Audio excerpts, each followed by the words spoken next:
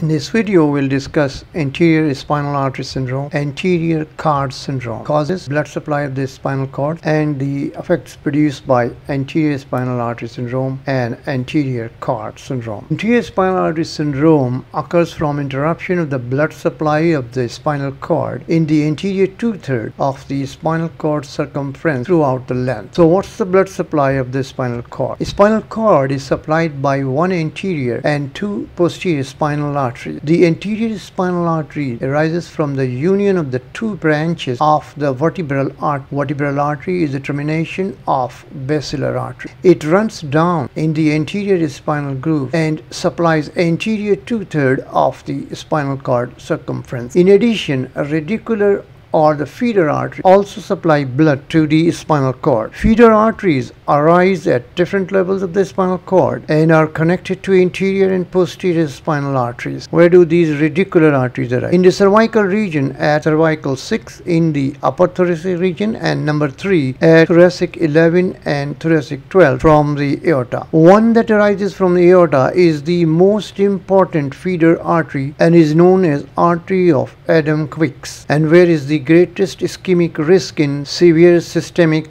hypotension. Greatest ischemic risk is at the level of third and fourth thoracic region and at the boundary zone of anterior and posterior spinal arteries. Anterior supplies anterior two-thirds and posterior supplies posterior one-third of the spinal cord circumference. What's the immediate response of the body after spinal cord injury and infarction? Spinal shock and autonomic dysreflexia. So what happens happens in spinal shock. Spinal shock is characterized by flaccid paralysis, atonia and areflexia, lower motor neuron type of lesion below the level of lesion. And also there is bradycardia and hypotension, vasomotor failure leading to vasodilatation and venodilation and severe hypotension. Autonomic dysreflexia. Autonomic dysreflexia occurs after spinal shock and usually occurs in injuries above thoracic 6. There is severe acute hypertension, bradycardia and throbbing headache, sweating and blurred vision. So what are the clinical feature or effects produced by anterior spinal cord artery infarction? Acute infarction of the anterior spinal artery or injury to the spinal cord produces paraplegia or quadriplegia. Motor weakness is more than the sensory loss. So which tracts are involved? Corticospinal, the descending tract, and spinothalamic, the ascending tracts are affected by a direct trauma or ischemic blood supply of the anterior spinal arteries. Anterior horn cells are also affected and they produce lower motor neuron type of lesion that is flaccidity, atrophy, atonia and areflexia. The lateral corticospinal tract damage produces upper motor type of neuronal lesion, the spasticity, hypertonia,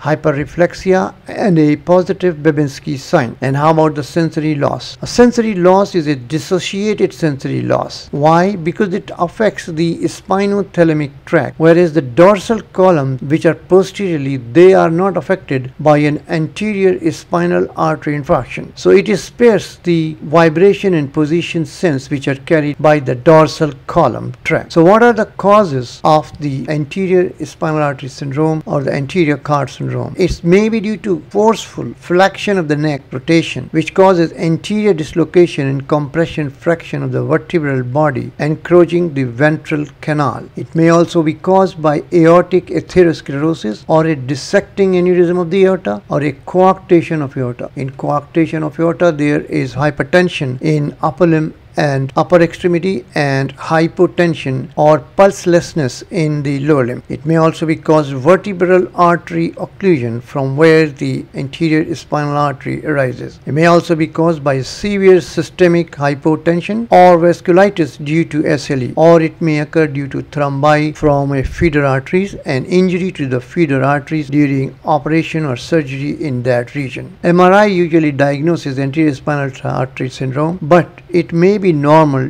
during the first day. In spinal cord lesions, a horizontal line is the hallmark and defines the upper limit of the sensory, motor, and autonomic defects. So, what's the upper limit of the sensory defects in spinal cord lesion? In sensory lesions, there is hyperesthesia or hyperpathia at the upper limit of the horizontal line. In unilateral sensory lesions, horizontal line is one or two segments below the level of the lesion. In bilateral lesion, the horizontal line is at the level of the lesion. And what's the upper limit of the motor defect at the horizontal line? There is flaccidity, atonia, and areflexia, involvement of the anterior horn cell. And what's the autonomic defect? Absent sweating below the level of the lesion. And what's neurological level? Neurological level is the lowest level of normal sensory and motor function on both sides of the body.